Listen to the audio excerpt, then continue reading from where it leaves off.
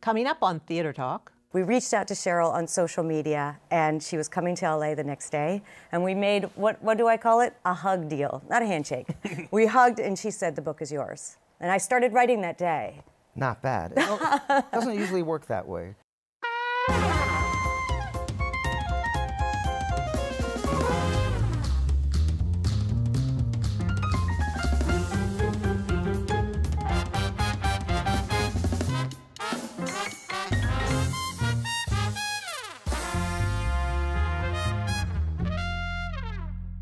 Sugar, if love were an animal, what species would it be, and could you train it? I think love would be two animals, a snake and a hummingbird. Both are perfectly untrainable. From New York City, this is Theater Talk. I'm Susan Haskins, and here is my guest co host, Warren Leight, Tony Award winning playwright and longtime showrunner of SVU and Peabody Award winner for Law and Order SVU and Peabody Award winner for In Treatment. And now you're on to other things, but Now I'm here. now you're here. now you're here. And we are going to talk about a wonderful, wonderful show at the Public Theater, Tiny Beautiful Things. We are joined by the co-creator and star of Tiny Beautiful Things, Nia Vardalos, Hello. and co-creator Marshall Heyman, who I met many years ago in another life when you were writing for the New York Observer, but now you're just one of the mainstays of the New York scene. Right. And working on this. How did you first get this project going? Jodi Kantor from the New York Times was at this writers conference. That Yeah, I Jodi was at. Kantor, who's Jodi really Kantor. She's been in the news lately. She has. She really has. But before all this, she was at a writers conference that I went to, and she was talking in one of the sort of salons that they were having about somebody when women at the New York Times would come to her and ask her for advice. She would say, "You know what? You should just read this book, Tiny Beautiful Things by Cheryl Strayed." And she had bought a stack of them, and she would just hand them off to people when they would come to her in the office. And so I thought to myself, "Oh, I should probably read that book." I, you know, I will occasionally dip into self-helpy kind of things, and so I, I immediately read it. And as I was reading it, I was like, "This is amazing. This should be shared with people. I think it could be a play. I think it could be something interesting." And so I have been friends with Tommy Kail for a while. Um, and Tommy Kail won a Tony for Hamilton and is just the it director of the day. but this was before Hamilton, before I really even knew about Hamilton. And I, I remember that I texted him and I said, Will you just check out this book? I, I think there's something there because we would have lunch and go to the theater and talk about possible things. And I would always give him stuff to read and he would tell me what to read and stuff like that. And so a few weeks later, he texted me and said, You know, I think this is great. Let's, let's try to do this. And so we separately tried to get in touch with Cheryl. Um, he sort of stalked her on social media, although he has no social media presence, so I don't really know how that worked out. But and then I went to go meet with her agent at the time in Los Angeles, and she had just Cheryl had she told me that she had just gone to production on Wild, which was the movie that starred Reese Witherspoon and was based on her memoir about walking the Pacific Crest Trail, and that she wasn't bringing her any projects, but Cheryl had been interested in sort of maybe doing something as like an animated interstitial thing with these sort of questions and answers in this book because the book is basically a book of advice. It's that Cheryl wrote as a col. She wrote columns for the Rumpus, and it was collected in this book around the time that Wild was published because it was such a popular column online. And so I was sort of stalking the agent, being like, "Hey, let's try to kind of see if we can make this happen. Is Cheryl ready to talk about it?" Tommy was doing his own thing, emailing Cheryl. She wasn't replying. He was working with you on the 24-hour plays. Is that Yeah, right? we met Yeah, on okay. 24 Here you hour come plays. into the story. Well, Tommy and I met in 2010, and um, we had been friends and looking for something to do together. So Tommy said, um, "We will find something to work to get on together." And I said, "Okay." And he keeps his promises. So after Marshall gave Tommy the book, and Tommy was so affected by it, I happened to be in New York, and Tommy gave me the book and said, "I think this is it." I think this is something we should work on together. I think it's a play. And I said, What is it? And I thumb, thumbed through it, and it was an epistolary exchange. I was like, I don't know how it's. I mean, I knew and admired Cheryl Strayed's work from Wild, but I said, I'll read it. And I read it on the plane, and I'm telling you that I'm sure the flight attendants were like, something is wrong with Big Fat Greek Girl. Because I was weeping in my seat. Weeping not because it's filled with grief, but because it's filled with empathy and compassion and understanding and transparency. These readers are so brave, real people who reach out and say, This is happening to me. And Cheryl says, I hear you. I'm going to tell you something that happened to me in the hope that perhaps there is something that is illuminating in it. So I landed and said, This is a play. Called Tommy. We reached out to Cheryl on social media, and she was coming to LA the next day. And we made what, what do I call it? A hug deal, not a handshake. we hugged, and she said, The book is yours. Not bad. It doesn't usually work that way. No. But you know, the key thing is you didn't involve any agents or business people in it. It was just Yeah. she just writes from the heart, and it sounds like you just approached her. Yes. that way. Well, I, I assured her that Marshall and Tommy and I would respect her and honor her work. You know, I, she said, "Do you think that maybe I could be involved?" And we were like, "Yes, of course." Even though, yes, I sat down, I started to take the book. Tommy came to Los Angeles, and we put Post-it notes up on the wall of which pieces we felt could make it into, make it uh, an arc, a trajectory in the piece. Of course, we asked Cheryl's help and advice, and then we had workshops, and of course she came. And you know, it's it was a beautiful, open relationship with no one ever worrying that they were stepping on toes. We would try a workshop. Tommy uh, would go to Marshall. Marshall would come in every, I would say, every two or three days with fresh eyes on the piece. It just worked. I'm thinking of when you said about there's no agents and all that involved. Warren, I first met you when you wrote Sideman, and I saw it at CSC, and I called you on the phone. I looked you up in the phone book and called you during intermission to invite you on this show. But then you too, and you with my big fat Greek wedding, have moved into this world of agents and representatives and studios and all this stuff. And one wonders how you keep your clear heads as writers. Well, significantly, you met Tommy at the 24 Hour Project, Yeah. which I do a- as often as I can. And that is a pure, this is a, an evening to raise money for charity. 30 actors, 10 writers and directors show up on a Sunday night. Uh, you meet each other, they, people bring a prop and a costume item. Then the actors go away, and the writers spend all night writing a play for free. Each person writes his own or her own one act. Writers go to sleep, directors come in, they, uh, they start rehearsing, and they put it up that night in front of 500 people off book. And it's never, it's, it's, it's as pure as we can get these days, Yeah. I think.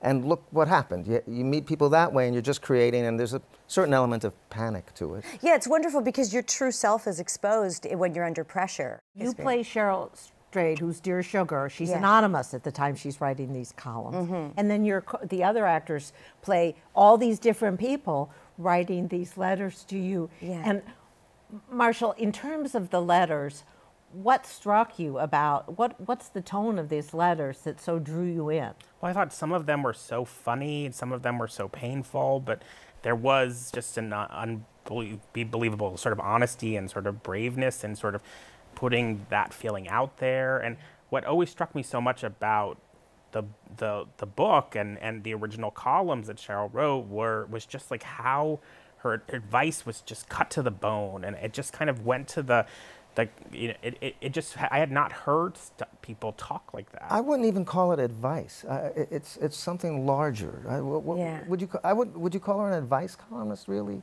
I mean, Now I wouldn't. At the time that I read the book, I thought it was advice. And the more I got to know Cheryl Strayed, would you say it's more that it's a sharing of life experiences? Right. It's also just a kind of a memoir as much as Yeah. it is an, it's a series of advice. I mm-hmm. mean, it's kind of a parallel to Wild in that so much of it is about her life experiences and the mm-hmm. things that happened to her and her friends and, you know, but um, And it- she did some stuff. yes, yes, she lived mm. quite a life. Now, you, Warren, for years and years, you sort of humbly express this as your day job, but you did this remarkable work on Law and Order SVU, where you're dealing with all kinds of tortured situations and people. And one wonders, like with, with uh, Tiny Beautiful Things, how do you keep yourself dispassionate from all this human misery? Well, you don't, I don't think. I think you absorb a lot of it and you listen. The hard thing for me, and I'm sure this has happened to both of you, uh, after Sideman and even after people see something you've written like that and then they want to come up and share some, disclose often something Yeah. that they've never, anonymity or the fact that They know you're going to go away in five minutes, the same way you can write a letter anonymously. Yeah. Allows people to, sometimes people will say, I never told anyone this, and then they'll tell you a heartbreaking story or, or a horrifying story. Yeah. And I, uh, I came to understand that was a responsibility of being on a show like SVU. I just try to, to listen and be present, and, and Yeah. But it, was, it took me a while to understand that's, that's part of what happens when you open yourself up the way Cheryl does or you do on stage. It is a huge responsibility to play sugar on stage because I do come out and people tell me things, Warren, uh-huh. and I, I just try to be present and listen because I'm not Cheryl Strayed, but sh- I've seen her do it, and she Yeah. just takes it in and listens without judgment. And can't we just all do this right now in the state of our world right now? I think we do need to listen more. This is why I think the piece is resounding with people and why we keep getting it extended. I believe we're in a dire state, no matter what your politics are. Right now, people are feeling scared. And there, this is a place where you can go for 90 minutes and cry, Democrat right beside a Republican. Sure, you can. The experience I had watching play was cathartic. I, I, I was, I was the guy in the sixth row just. I should have bring tissues if you're going to see the play. Just bring tissues. Right. I, I don't think you have to read the book in advance at all. I think it's better. I came in cold Yeah. and just was was moved all the way through, like a good Al-Anon meeting or a good church service. You felt better at the end of it. That you go you go you go through a catharsis listening to all these people struggling to survive and get over things that one should, in an ideal world, one wouldn't have had to face. Yeah, and like Marshall is saying, because there are pieces in the book that are funny, we really felt it was important to include things because we need all emotions. Every, you got to eat everything. Eat carbs, everything. You got to eat protein, sugar, carbs, fat, everything. And in the play, that's what we were hoping to show is just the wide variety of everything that people go through. Of course, it was horrible the pieces that I couldn't include in the play. So we always say to people afterward, buy the book. Afterwards, Afterward, yeah. buy the book. Right. Yeah. Tiny beautiful things. Yeah. S- Well, I want to tell everybody that this you can still go see this play. It's at the public until December 10th. I hope they're going to tape it for some future purpose. Oh, Okay. that's Yes, nice. yes. Sure. I'll, I'll bring a camera down. Okay. Yeah, I'll just On your iPhone. yeah. That's right. And then Nia Vardalos, you're probably headed back to Los Angeles to do some cool thing. I'm sure you're hatching. I'm doing some things. Yes, Marshall Heyman. Now you, you you are now writing a TV show based on the wonderful book Dietland. Yes, yes. I- I'm not writing. I'm writing on it. Well, you're Yes, writing I'm on it. That sounds pretty that, good. yes, and Warren Leight, my guest co-host.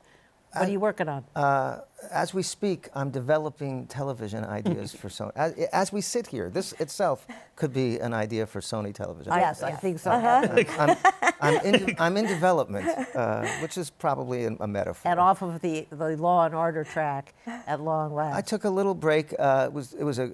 I thought I would be there for a year, and it, it, it, it, it five years went by.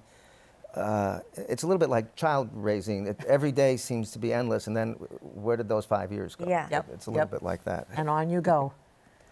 Thank you so much, Tiny Beautiful Things, Nia Vardalos, Marshall Heyman. I hope Thanks. to see you again soon. You soon. will. Warren Leight, I know I'll see you again soon. Thanks. Thank you so much. Thank you. If you had to give one piece of advice to people in their 20s, what would it be? Be about 10 times more generous than you believe yourself capable of being. Why? Because in your 20s, you're becoming who you're going to be, so you might as well not become an ass.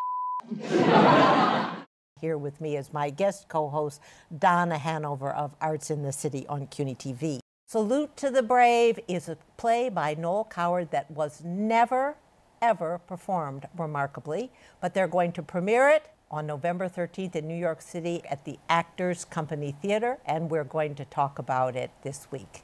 Here with us is Scott Alan Evans, the Executive Artistic Director of TACT, Yes. as you call it.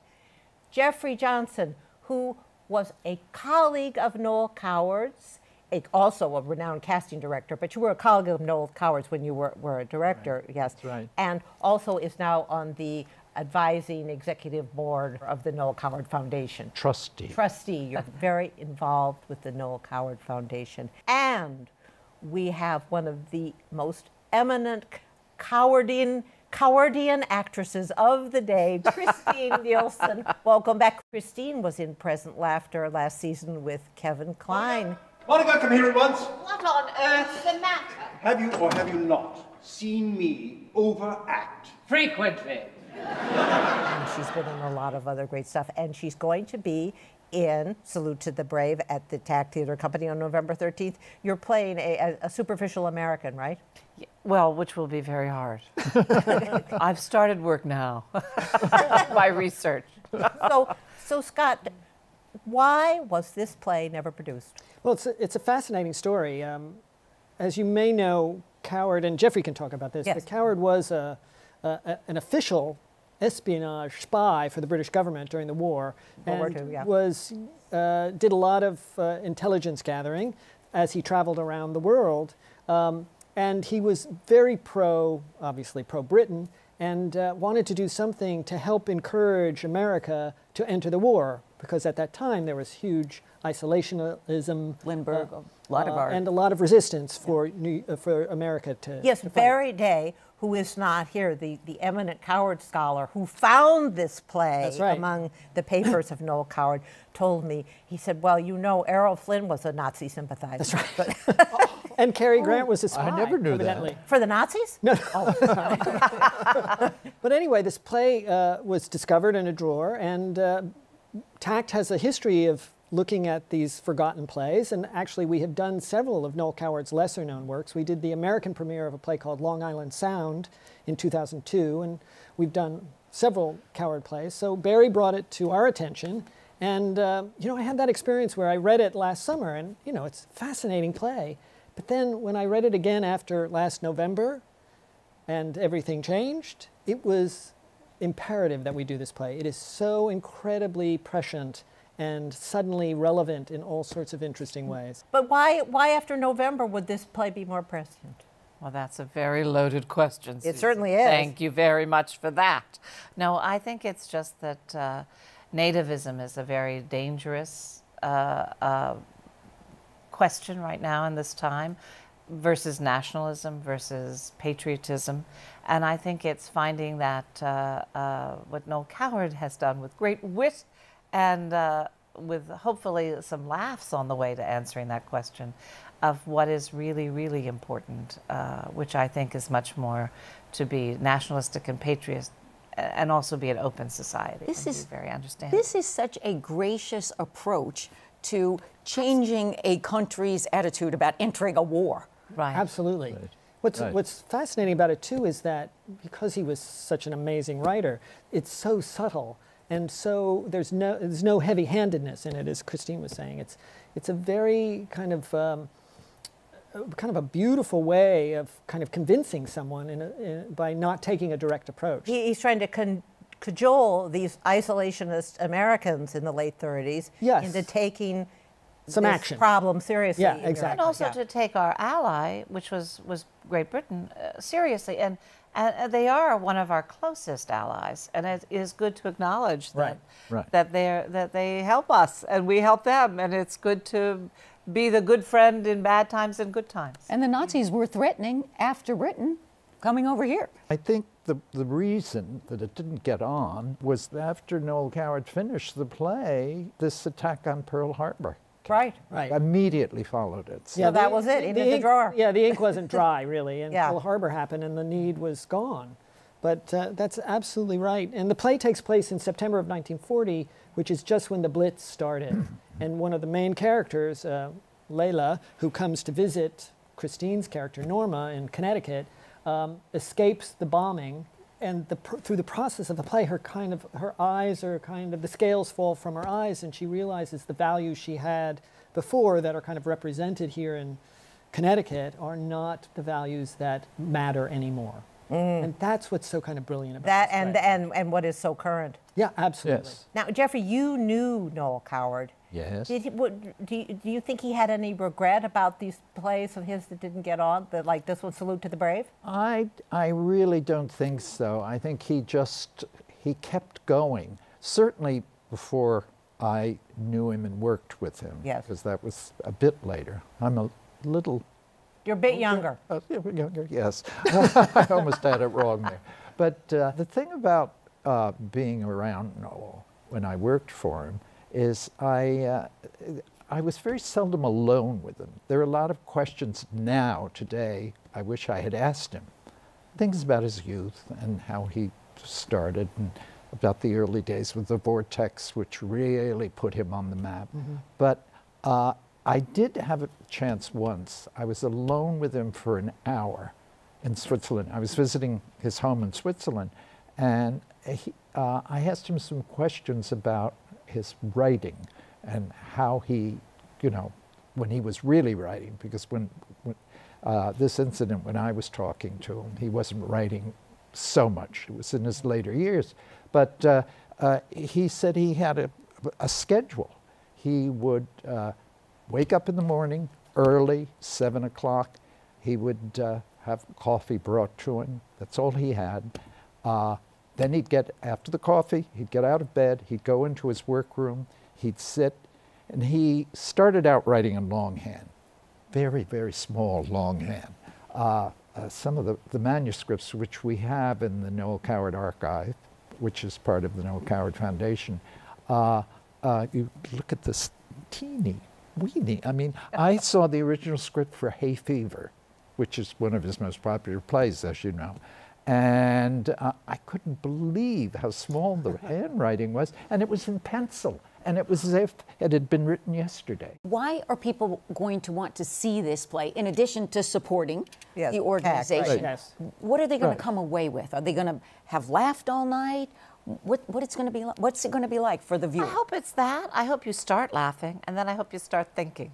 That's right. That's what I'd that's, say. That's, I, I feel like that's the it, I character think. of Norma. It was so fascinating to me because it's the person with the blinders on. They have all the right, they say all the right things, and they do all the right committees, and they do all the, but they're not really sacrificing anything.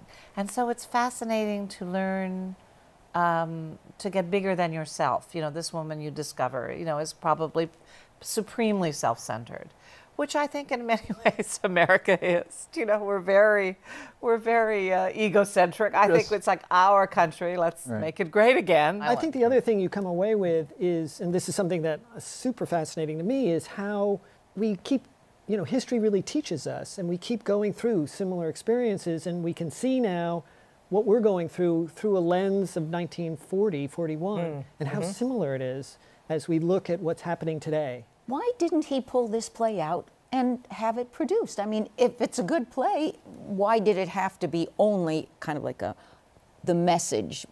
I, I, I Well, I think he probably pulled another play out. Yeah, because he, he about it. was, uh, he, he, it was incredible. Yeah. Because I said to him when I was talking about his writing, I said, and, and you went in after the coffee and you started working, because then he started typing, he told me, he, after he finished this scroll. But uh, uh, he didn't do that anymore. But he said, uh, sometimes I'd go and I'd sit there and it wouldn't come and I would, I had a thing that I would do. I would sit at the, at my desk until two o'clock when I had my lunch, and then the rest of the day was for me. I could do anything I wanted, but he said, uh, some days nothing came. I would just stare either at the typewriter, at the pencils, or whatever. But and then other days it just flowed like crazy. And I said, well, a lot of it flowed because It's- yeah. because what he you know he wrote so many plays. We just we just had uh, Stephen Adly Guirgis on the playwright, and he said that the, the key to being a writer is you have to get yourself to the table and stay there. That's right. Yeah. That's Well, very also true, Coward I is famously known for writing these brilliant plays in an incredibly short period of time. That's right. I mean, Hay Fever he wrote in over a weekend, I Yes, think. that's and- So have you got a, a stack of of Noel Coward plays that are going to be produced by you guys? well, as long as the Noel Coward Foundation keeps sending them to us. Right. And Little during message there. during the uh, um, the the British when Brit- uh, Britain was involved in the war, he decided he wasn't going to write a play for a year. He said, uh, "I just I, I'm going to do other things." I mean, he entertained the troops. And he made one of the greatest war films of all time, in Right. which we served, Yeah, that's right. where he that's played right. Mountbatten. and also he wrote Blithe Spirit during the war. But after We a year, he said, I don't know, he was somewhere with his good friend Joyce Carey, and uh, I think in Australia, and suddenly he thought about this play. And uh, He wrote it in six play, uh, six days. Of but course. present laughter was the same. Right. Yes, yes, He- I he- think so. That was done, and they he stopped it because it was the war started, Ah. you know, and it was not. Mm-hmm. That's right. The right time. di- it wasn't the right time, and he didn't want that to be the play to start the with the war. Right. Yeah. Because it was again a smaller play, you know, smaller in scope with the Right. family. Uh, Alesso was very interesting because he was the artist surrounded by all these people that one person couldn't talk to him alone. We have one minute left, Don. Oh, well, I understand that he and Churchill butted heads. Is that true? I, well, That's that what I- that's what I the research I've I've had been was told that. Yeah. I mean, I've been told that by Didn't Noel. By Noel, right? well, that's a pretty the better, good source. The better source, yes. and uh, well, let's tell the story about the that we've uh, talked about about the knighthood, if you want. Oh yes, that uh, he. Well, there was a when he was a spy, he was supposed to go get this high level uh, assignment, and evidently the word came down from Churchill that no, we were not going to use Noel. Yeah, he did it. All right, well, the time has flown, Yeah, absolutely. but, but November 13th. November 13th at the Scholastic Theater, and we have an amazing cast, including Kristine, but Chris, uh, Jennifer Ehle, Reed Birney, Cynthia Harris, Simon Jones, Peter Bartlett, Lorenzo Pisoni. it's heaven. and An Kristine amazing- Nielsen, all It's star. great cast. And Yeah, it's a fantastic cast. a- another production of at the Wonderful TACT of the Wonderful TACT Theater Company. Yes. So thank you so much, Thank Scott you. Alan Evans. Thank you so much, Kristine Nielsen. Thank you so much, Geoffrey Johnson. All right. Thank you, Donna Hanover. Thank you. Thank you very much. We'll see you all next week. Our thanks to the Friends of Theater Talk for their significant contribution to this production. Theater Talk is made possible in part by the Frederick Loewe Foundation, the Corey and Bob Dinelli Charitable Fund, the Noel Coward Foundation, Carrie J. Fries, the Dorothy Strelsin Foundation, and the New York City Department of Cultural Affairs. We welcome your questions or comments for Theater Talk. Thank you